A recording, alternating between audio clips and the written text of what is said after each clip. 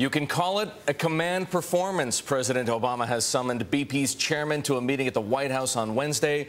Carl-Henric Svanberg will need to come across a whole lot different than BP's CEO Tony Hayward. And for a sense of what to expect, here is Allyson Stewart-Allen with international marketing partners, a firm specializing in European and American business across the Atlantic. She joins us from our London bureau this morning. Allyson, uh, a lot of people would say that Tony Hayward's strategy thus far, his PR strategy anyway, has been mostly ineffective, if not a failure. What does Carl-Henric Svanberg need to do differently to make this meeting with President Obama a success? Well, he needs to demonstrate empathy and he needs to demonstrate that he un actually understands the gravity of the situation in the Gulf region.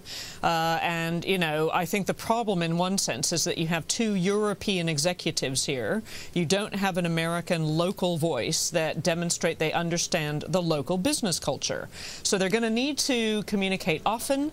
Uh, they're going to need to demonstrate some action and they're going to need to make sure that uh, they're actually doing something substantive uh, in that region to, um, you know, show goodwill and do well by the customers. Well, Allyson, people are expecting there to be decisions made by BP's board perhaps as soon as today. But aside from actually uh, those substantive things that are so critical, how about the manner in which they communicate these things?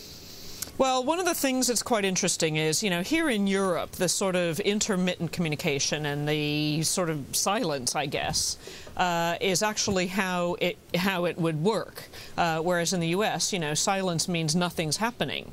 Uh, so we need to hear from people often, and we need to make sure that when we do, that they actually are putting forward something concrete about the specific actions they're taking, and they need to be consultative. You know, why didn't they have possible range of top hat designs on the website for people to comment on, for engineers to put forward ideas to, and engage people uh, rather than in frequent communication, and when it was communication, it wasn't terribly rich. Uh, Allyson, what are some of the biggest pitfalls Mr. Svanberg needs to avoid? And can you think of anyone who has uh, stepped in them as of late whom we could uh, bring to mind? Well, um, firstly, uh, let me answer your latter question first. If you think about Mr. Toyota uh, and his comments in front of um, Congress uh, back in March, you know, he clearly did not understand how to connect with the American uh, audiences in a number of ways. He wasn't empathetic, he wasn't concrete, uh, and the, C the uh, BP executives are going to need to do both those things. The other thing they're going to need to have to understand about American business is it's very transactional you know, we're not all about having coffee and chit-chatting for a while and getting to know people before we do anything. Uh, they've got to demonstrate action and they have to get on with it and they need to do it pretty quickly. Uh, Allyson, how high are the stakes here for Britain? The president, deliberately or not, has made this whole oil spill a quote-unquote British issue.